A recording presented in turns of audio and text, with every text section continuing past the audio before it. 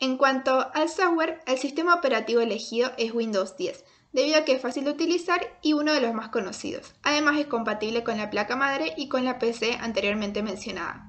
El software específico para la actividad a desarrollar, que en este caso es la dactiloscopía, elegimos a Verifinger, una tecnología de identificación de huellas dactilares que proporciona los algoritmos de reconocimiento de huellas dactilares más potentes.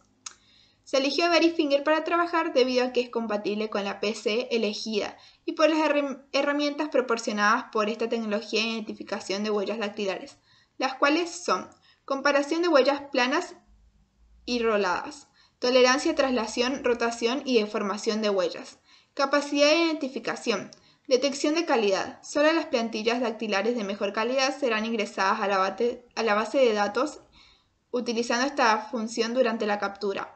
Filtro adaptativo de imágenes. Elimina ruido, rupturas y bloqueo de crestas, incluso en imágenes de baja calidad. Plantilla compacta de huellas dactilares. Permite configurar el número y tamaño de las funciones de huellas dactilares en una plantilla de huellas digitales. Optimizaciones de algoritmos específicos en el escáner. Incluye modos de algoritmo que ayudan a lograr mejores resultados para los escáneres de huellas dactilares compatibles. Respecto a la ofimática, se eligió la suite ofimática Microsoft Office, debido a que es una de las más conocidas y se utiliza en ordenadores con sistema operativo Windows, el cual habíamos elegido. Además, incluye PowerPoint, Word, Excel, Outlook, Access y Publisher, que serían útiles para trabajar.